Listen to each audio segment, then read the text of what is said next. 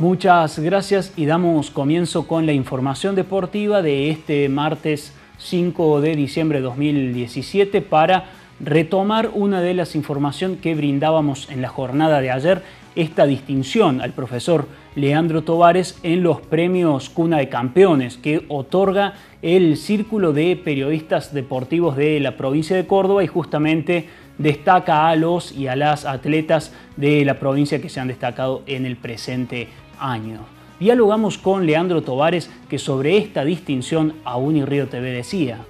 Bueno, realmente muy importante. Fue la segunda vez que, que tengo este reconocimiento, la otra vez había sido en el año 2013. Ese año fue en un año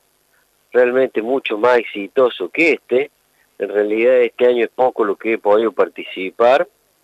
en torneos, digamos, importante, realmente lo hice en dos torneos a nivel internacional,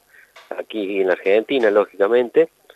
eh, pero ha sido poco lo que he podido jugar. Digamos que ha sido una elección entre mm, lo poco que han hecho los jugadores de Córdoba, ha sido un año realmente donde nadie se ha lucido mucho y bueno, este, yo creo que el premio, eh, eh, bueno, ha sido un poco más por eso. Yo creo que la suma la suma de todo, de buenas actuaciones, inclusive aquel torneo de Elo Blitz Internacional que se hizo acá en Río Cuarto fue importante, no solamente mi triunfo, sino la organización. Y bueno, yo creo que se ha tomado en cuenta el subcampeonato en un importante torneo que se jugó en San Luis en el mes de marzo, donde jugaron jugadores de España y Argentina y bueno, un poco ahí se inclinó la balanza a favor mío